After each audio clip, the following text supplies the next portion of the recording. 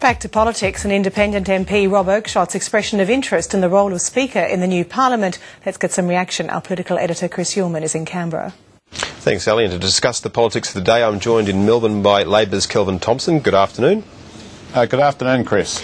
And in Adelaide, we're joined by Jamie Briggs from the Liberal Party. Jamie, good afternoon. G'day, Chris. G'day, Kelvin.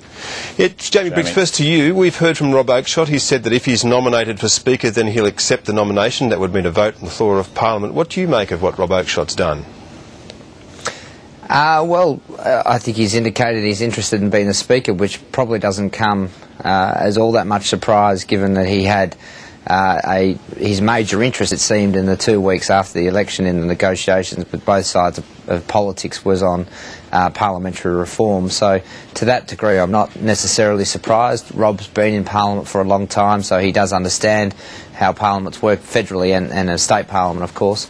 So I, am not surprised how this now plays out. Of course, um, we'll have to see on, on the floor of the parliament. Um, uh, I understand the government has, is seeking legal advice. Um, as I understood it, any MP could nominate to be uh, to be speaker or, or, be nominated to be the speaker.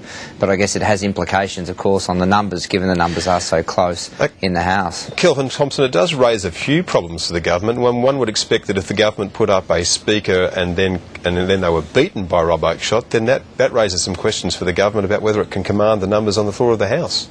Uh, well, of course, it raises uh, legal issues, conceivably constitutional issues, Chris, and, and, no doubt the government will be seeking advice about those things.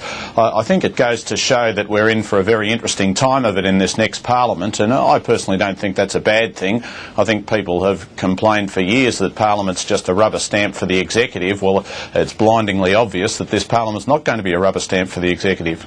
Uh, Kelvin Thomson, just looking at the way that the opposition might behave, they have the signalled today that, uh, signalled yesterday, in fact, that Malcolm Turnbull's first job is going to be to demolish the NBN doesn't sound like a kind of gentle apology to me. Uh, no, it doesn't. But I, I, think the, the bottom line in relation to the national broadband network is this. Either you support some government involvement or you think this matter should be left to the market.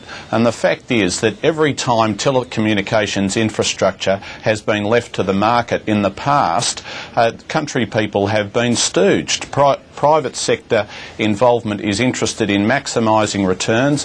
That means being involved in the big capital cities and the rural and remote areas miss out. Now, the whole point of the national broadband rollout is to extend this to 93% of Australians, and that that's the reason why we believe that the government involvement is essential.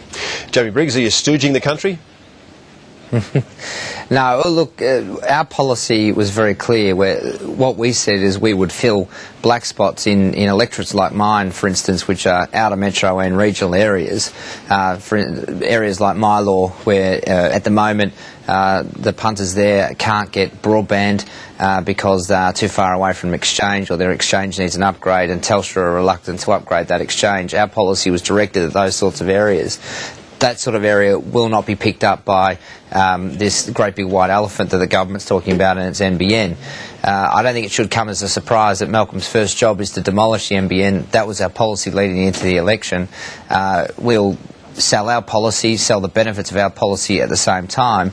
Uh, but we do not want the Australian people to be foisted with this this great big white elephant of a policy, which will will end up being less value to the uh, taxpayer than what but, it will cost. But just build. briefly, the problem you had was that you couldn't sell your policy, wasn't it? Well, at the end of the day, uh, that's for um, smart political commentators such as yourself to make those judgments. Just a question. Um, we'll, co- we'll continue to. Uh, well, we'll, we'll fight on these issues. This is an important issue. The government is planning on spending $43 billion. Now, I know given the waste and mismanagement that this government has uh, been uh, subject to in the last three years, it do doesn't seem like a lot of money uh, for the Rudd government. However, it is still uh, a great deal of money. We don't believe it should be uh, spent in this way, and we're going to be fighting against it to try and prevent the waste and mismanagement we saw uh, in the last three years. Kelvin Thomson, interestingly, just go on.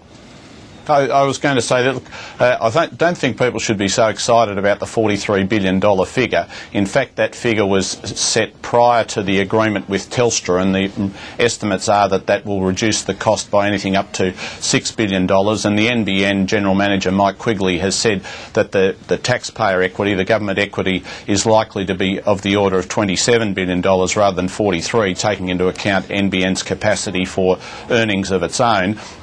Furthermore, the, the point about uh, country Australia remains very important that the broadband rollout is something that will be good for e-health, good for the provision of education and make it easier and more cost effective to do business in country Australia. So uh, Tony Windsor and uh, independents who looked at this thing said uh, do it once, do it right and do it with fibre. But the, the, the, thing that Malcolm Turnbull's doing is he's attacking the business case. He's saying this is a massive destruction yeah, of right. money. And, and isn't that a real worry for you, Kel? Uh, I believe that the, the rollout of broadband will take Australia forward. The fact is that we have been behind in broadband compared with other countries.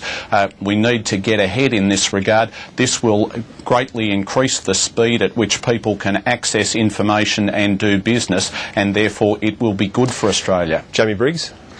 Chris, well, just a couple of points. I, to a degree, I, I actually agree with Kelvin. Um, the broadband is very important, absolutely important to uh, the future of our country and the future of our uh, productivity needs. It is, it is a huge enabler. There's no doubt about that. And in, in some parts, the broadband systems have been behind. However, that's not true across the country. Uh, of course, in most city areas, broadband speeds are very good, uh, and people get uh, great access to speeds and download capacity. Of course, in some other areas, out of metro and regional, it's, it's a bit more patchy, uh, and it does require some work. But just on the points about costing, um, one of the issues with the costing is, of course, that this is based on, at the moment, on putting uh, uh, wires on overhead power lines. Now, in my area, that's just not going to get approved by the council. So the business case, as Malcolm Turnbull points out very well, is not yet well thought through.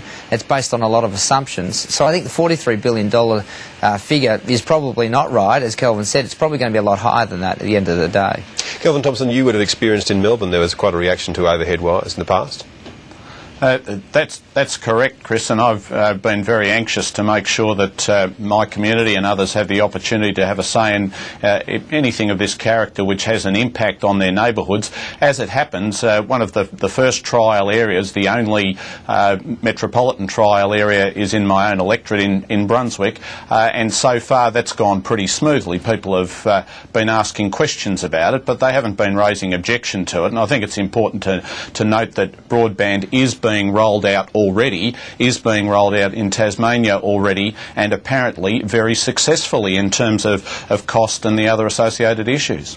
Jamie Briggs, just a, a question on the politics of all this. You know, the first words out of the mouth of uh, Tony Abbott when he talks about appointing Malcolm Turnbull is that he wants them, uh, the, him to demolish the NBN. Do you think there's a, a, real problem that if you are just seen as being obstructionist, that that not, might not play very well in the electorate? Oh, I think that's right, but I don't think that's what everything that we're going to be. I think that we will look uh, to offer an alternative. Uh, we have a good alternative, in fact, uh, which which talks about filling black spots and catching people up who, who, who don't have access to decent speeds at the moment. Uh, of course, Australia is such a vast continent that not one solution fixes broadband.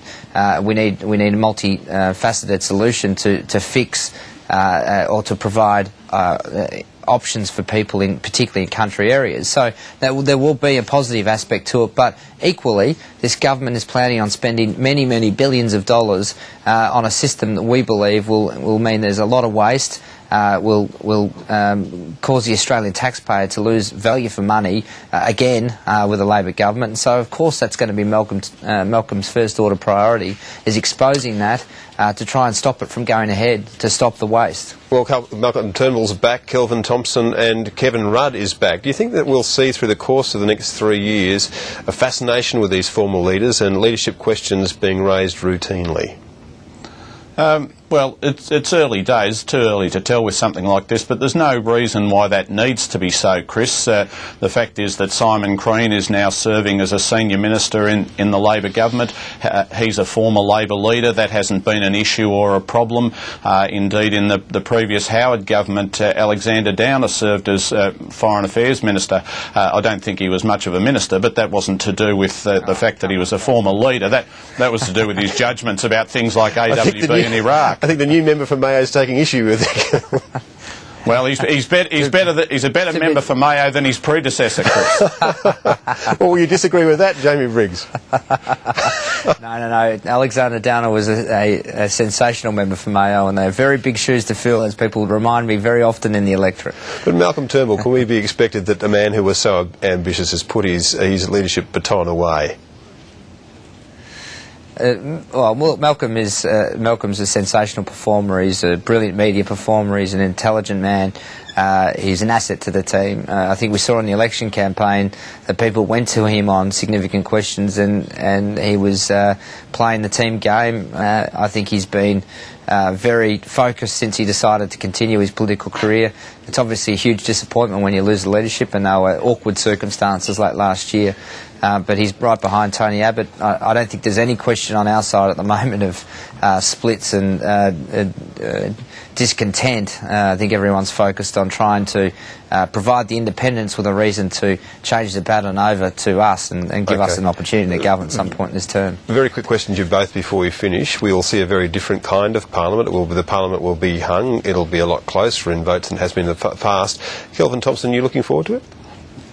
I, am, Chris. Uh, I know some people are sort of all gloom and doom about the hung parliament, but I, personally believe that it can be a good thing. Uh, it imposes a discipline on you if you have to persuade other people of the merits of your ideas in order to be able to get them through the House of Representatives, in order to be able to get them through the Senate, and, and so on. Uh, the fact is, if you can't persuade anybody else to agree with you, well, maybe your idea or policy wasn't so good in the first place. And there's experience in Victoria where Steve Bracks had to govern from 1999 with the support of three country independents, and the kind of government that he gave during that term was given a massive thumbs up by the electorate. Conversely, John Howard was motoring along pretty well until 2004 when he got control of the Senate, put through work choices, and lost his seat. So I think in politics sometimes you need to be careful about what, getting what you wished for. And Jamie Briggs, finally, last word to you. Yeah, look, I, I, agree with Kelvin. I think uh, uh, hung parliament brings a new discipline. I think the changes to the parliamentary procedures will be really good, uh, as long as the government sticks to the, the commitments, which I'm, sure that they will, because the independents will be committed to them. Uh, I think it gives um, you know members of parliament a, a, better opportunity to to use the parliamentary forum, which you know as a, as someone who uh, respects very much the institution of parliament, I think it will be a better parliament this time than last. I think question time will be much improved, and I think uh, we'll get much a greater level of accountability uh, and a, a greater level of debate. Jamie Briggs, Kelvin Thomson, thank you. Good to talk with Thanks, you. Thanks, Chris. Thanks, Kelvin.